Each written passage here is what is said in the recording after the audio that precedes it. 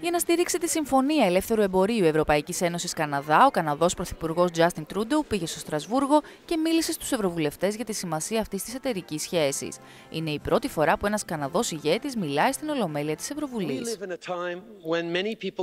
Ζούμε σε μια εποχή που πολλοί άνθρωποι ανησυχούν ότι το τρέχον σύστημα ωφελεί μόνο τους λίγους τυχερού της κοινωνίας.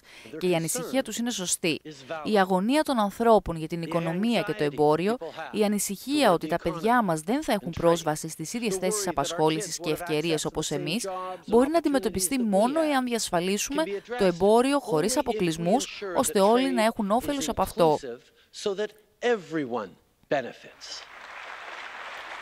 Η συμφωνία επικυρώθηκε την Τετάρτη με πλειοψηφία από το Ευρωκοινοβούλιο και τώρα πρέπει να πάρει το πράσινο φως από τα εθνικά και περιφερειακά κοινοβούλια των κρατών μελών.